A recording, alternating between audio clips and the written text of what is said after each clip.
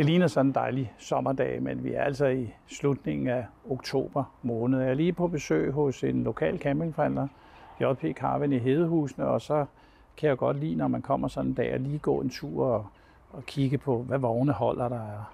Det er jo brugte vogne, som Jesper handler med hernede. Og så ser jeg pludselig, at heromme bag i mig, der holder der en Solifer. Og Solifer, det var den første campingvogn, jeg faktisk købte tilbage i 86.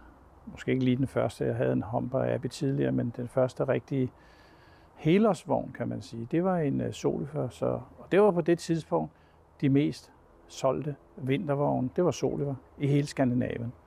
Så den skal jeg altså lige hen og kigge nærmere på. Nu kan jeg lige prøve at vise dig den her, så kan du lige se, hvordan den hedder Evolution. Nu skal jeg lige sige, at den er bygget af Hymer, fordi Solifer blev oprindeligt bygget i, i, i Sverige, men øh, på et tidspunkt efter nogle forskellige kriser, øh, så overgik produktionen til tyske hymer, som jeg godt ved, hvad det handler om. Der er trappe, der kører ud dernede. Der er vindue i døren. Lad os prøve at kigge ind en gang. Det er jo vi oppe i luksusenden her, kan du se. Så er der rundsædegruppe i forenden af vognen. Nu er der ikke lige lys til den her, hvor jeg står, eller her, hvor den holder. Der er køleskab, der er rigtig komfur. Der er måske ikke så meget plads i køkkenet, men altså, det er jo ikke noget problem for mig, for jeg laver aldrig noget i køkkenet. Men det kan godt være, min kone fortæller, at det er et problem for hende, men det har hun nu altid fundet ud af. Hvis jeg kigger på den anden side, der er der et stort fjernsyn. Så kan vi bedre se, der er vinduet, så man kan se det der.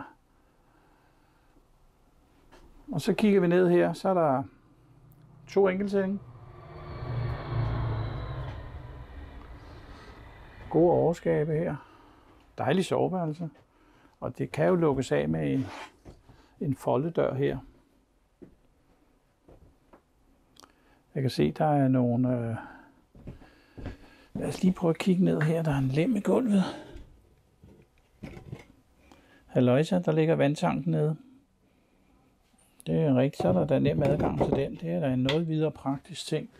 Jeg så, der var en, en lem til her. Hvad kan der så være i den? Der er også vandtank. Det kan være, der er ekstra tank eller et eller andet i, det tør jeg ikke sige. Så går vi ud her. Så er der håndvask i midten.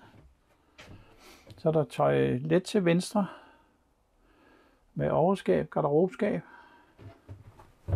Stort garderobeskab. Ja. Med hylder.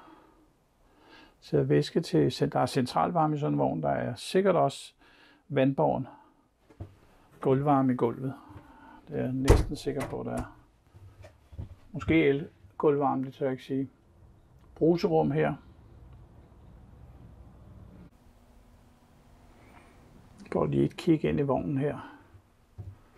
Den her vej. Og det er en dejlig vogn. Jeg kan se her, så har vi en gasalarm. Sol for betjeningspanel er der. Og der er alt det her der er til at tjekke vandtanke. Og så er der den her dejlige garderobe lige inden for døren, hvor man kan hænge sit tøj ind. Og lad os lige prøve at se, om det her, ja det er det, der har vi Alte centralvarme.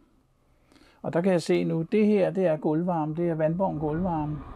Der er tre strenge, der er ført ned i øh, gulvet, og der kan man justere og lukke. Jeg ved, man sagde i sin tid, at hvis man havde en hund, så lukkede man den ene, så den vidste, den havde et sted, den kunne ligge, hvor der ikke var for varmt at ligge på gulvet. Men det er jo en meget god ting, man kan styre der hedder cirkulationspumper. Herinde sidder der en radiator også, der sender varme op i skabene, og op i garderoben lige inden for døren, hvor tøjet hænger. Så den er altså bare super. Det er en vogn, man bare kan tage afsted på, uanset stort set, hvor koldt det er rundt omkring. Komfur med grill og ovn. Ekstra stort toiletrum, kassettoilet, brugskab. Øh, der er 12 volt system selvfølgelig, batterier, fladskærmsholder, varme, centralvarme, elgulvvarme, varmt vand, fast vandtank. Der er mover på. Ganske nydelig vogn, det må man sige.